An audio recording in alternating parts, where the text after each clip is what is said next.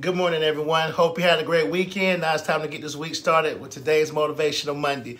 I read something the other day. It said your God given talents can only take you so far. And they said, how do you get better at that is to work on those God given talents, to really work on it, and, and it helps others. And the reason why I can relate to that, because I remember, like, people tell me all the time, like me this is a God given talent, you cooking barbecue. And, you know, I feel like there's some things, some things I don't. But I remember in the beginning when I very first started, I had smoked some chicken wings. I bought this whole family pack.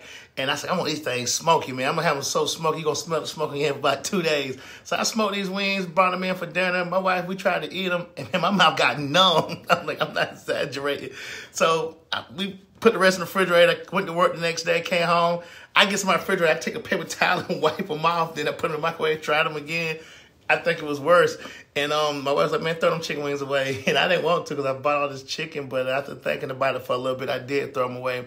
And that's why I would encourage you. Like, things that come natural to us, like, man, you know that God gave it to you. Like, things you're just good at. Like, you know, you have to still work at them just because He gives you a talent. It's a lot of people you see in sports have God given talent, but don't always have the character, the integrity to stay there, or even in music or in barbecue or any other thing. So, that's one thing I try to keep in mind. Like keep honing your craft, keep learning, and you also find out about yourself. And um, I'm still learning, I'm still tweaking.